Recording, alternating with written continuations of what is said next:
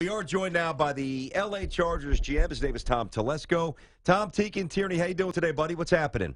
I'm doing fine. Thanks for having me on. Awesome. Uh, talk a little Chargers football. Talk a little bit about the move, the unique stadium setup. Um, the transition is still, I'm, I'm, I'm, sure, still going on. Where are you guys at with that? Almost done? Are you, are you are you fully moved in yet? What's happening? Well, we got a long way to go. No, we're we're still based in, in San Diego right now in our our Prox facility and currently working on a facility up in, in Orange County that, that that won't be done until uh, closer to July and August. So so we're as far as football operations are concerned, we've been uh, business as usual here.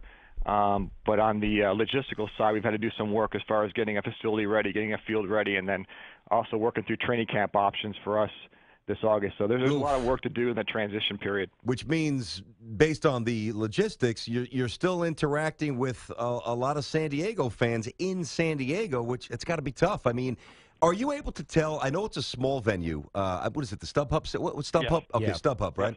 Can you tell uh, yet, Tom, how many former San Diego season ticket holders have now moved over to LA? Is that uh, anything you guys have data on yet? You know, we may. I know. I I don't. Um, it's hard to tell right now. Um, so we'll see. We'll, we'll see. We we hope. Uh, you know, we've got the, a lot of the same players that are moving up to uh, to Los Angeles, so we'll see how that goes. We know it's a difficult situation for everybody, you know, especially for San Diego fans and, and what what they've had to go through. But you know, our plan is to put a put a great team on the field, a great product on the field that people want to come and watch, and you know, it's certainly going to be be a unique venue up at the StubHub Center. It's not something that I know I've never seen before, and we really won't know what it's like till we get there. To be honest with you, um, I've never seen a game in the StubHub. I've not seen a soccer game there before. I've been there for some All-Star football game practices, but uh, it's going to be a different environment, a unique environment, but something. Uh, um, we'll we'll see how it works out. Talking to Tom Telesco, Chargers, LA Chargers GM, with us here on Tiki and Tierney, CBS Sports Radio. Tom, you talk about the fans and what their adjustment's going to be like. How disruptive do you expect this to be for the players? I mean, this is this is kind of major.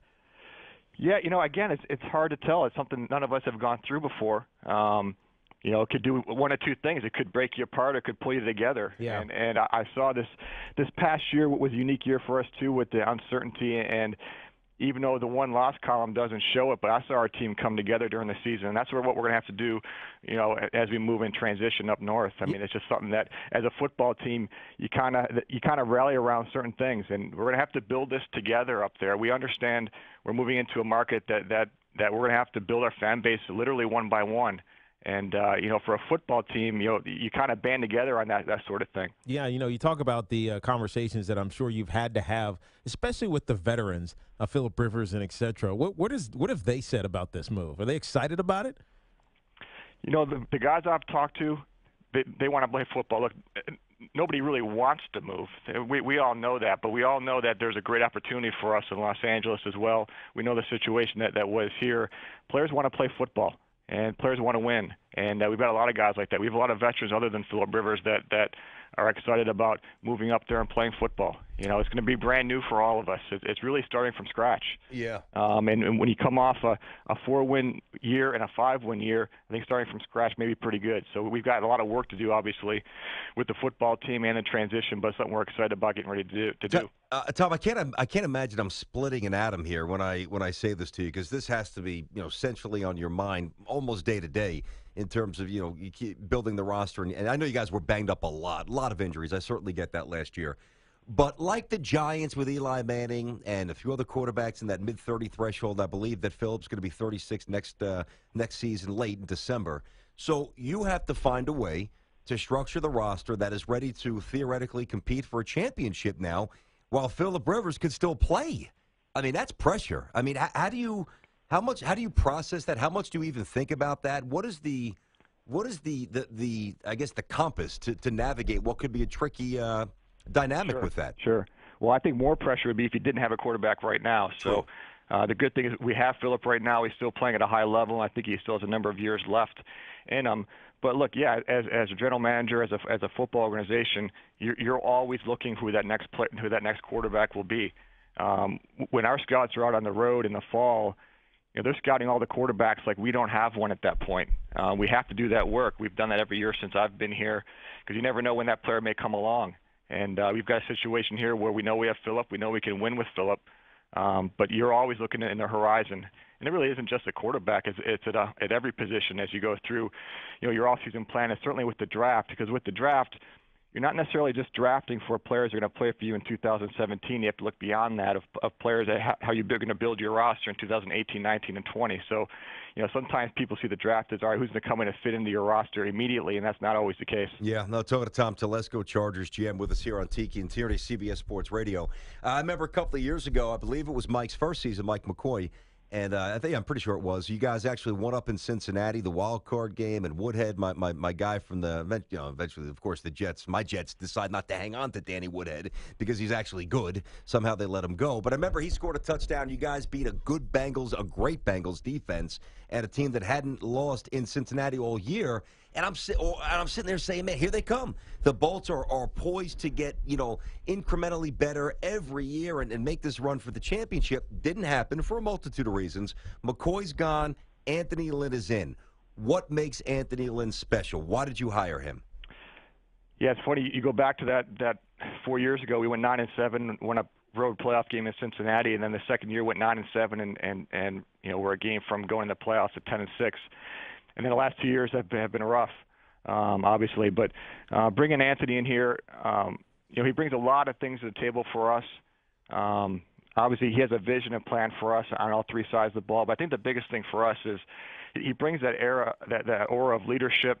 Um, when you sit down and talk with him, he he, he can inspire people, and uh, he comes off as very genuine.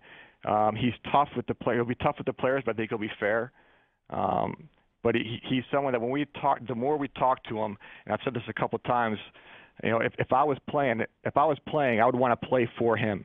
Um, he, he he just has those leadership qualities that I think are really going to connect with the players, and and um, you know we think we put a good staff together around him, and uh, you know we can't ready can't wait to get back on the field, at least for OTAs, to get the players back on the field and, and get this thing going again. Yeah, did you guys take into consideration a narrative that existed around playing in LA that you have to have that celebrity, you know, I put in quotes, celebrity coach, or you, obviously you have it when quarterback, because Philip Rivers is a star perennially. Uh, but did you ever did you take that into account at all?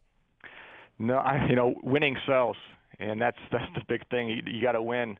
Um, names don't win. So, um, no, when we were in the, the head coaching search, we didn't really. Uh, uh, you know, as far as it didn't have to be an offensive coordinator or a defensive coordinator or, or special teams coordinator. It, you know, it could have been any of the three. It could have been a college head coach um, you know, we were just looking for the right person for this job at the right time, and, and we just felt Anthony uh, was the best fit for us right now. Good. Now, now this is off off of the uh, football field and onto the, I guess, the roads of Los Angeles. You're running the Skechers Performance Marathon. Now you're cheating a little bit because you're doing a 13 person relay. I've done a few couple of marathons. What do you guys? Why are you guys doing this? What's this all about? Tiki, I'm cheating a lot. I mean, it's, it's, it's 20, what are you running, like 100 yards? Race. You running 100 done, yards? yeah, I've, I've done some 5Ks and half marathons. Never done a full marathon. Uh, now this is it's a uh, the 13 people relay, and and um, it's just something fun for for the Chargers organization. It's going to be a kind of a mix of some Charger employees, a couple Charger players, uh, even some Charger cheerleaders, and some Charger fans. Nice. And uh, you know, it, it, it's just like I said, something fun to do on a Sunday morning, and and I, I like to run, and and you know, obviously it's, it's a new hometown for, for all of us, and it's you know actually it's a great way to kind of get a feel for the neighborhood. So I know I think the starting line is at Dodger Stadium, and I think my my leg of the relay kind of works its way through through Chinatown. So it'll be be fun to see the different neighborhoods. I wish I could run the whole 26. I've never done that before. Maybe at some point. Um, but uh, no, it would be something fun to do on, a, on an early Sunday Tom, morning. I'm going to get your number from uh, Samter. You, you got to come out and run New York. I run the New York Marathon every year. I'm actually going over to Jerusalem today to run the Jerusalem Marathon. So if you're going to do one to start, do New York, man. I got the hookup for you. I got to work my way up to that. I don't know if I can train enough to get ready for 26. I know yeah, you I, can. you can do it. I, if my wife did it, you could do it. I promise you. I've, I've run a couple half marathons, and when I finished them, I, I thought to myself, "There's no way I could stop, turn around, and do this all over again." So. That's a good point. And by the way, you lost me when you said this. This is fun to wake up and do this on a Sunday. Not my book at eight, Tommy. But good luck to you, pal. Stretch those hamstrings, right? Oh my, fun. You know what's fun for me on a Sunday? Waking up with a little little hangover.